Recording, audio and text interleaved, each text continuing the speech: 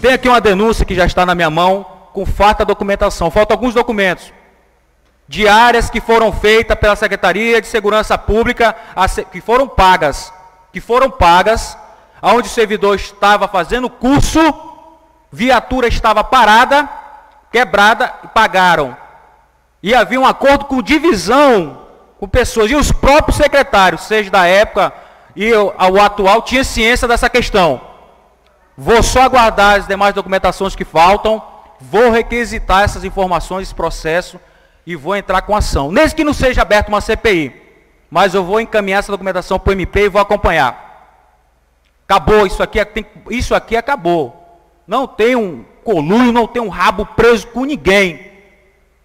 Tá? Se é assim, se é para votar dessa forma, trabalhador que estava aqui lutando, PM, seja policial civil, seja qualquer uma pessoa, trabalhador, a gente tem que dar um olhar. Que entrasse com uma DIN, que o governo buscasse entrar com a DIN. Agora eu estou vendo lá a reunião com o presidente, todo mundo do governo, a Casa Civil, todo mundo lá reunido. Tá? E dizer outra coisa, tem um negócio projeto desse, dessa lei aqui de emenda parlamentar. Eu não vou disponibilizar 500 mil para essa casa. E se alguém tentar colocar essa matéria e for aprovado, eu vou entrar com uma ação na justiça. Acabou.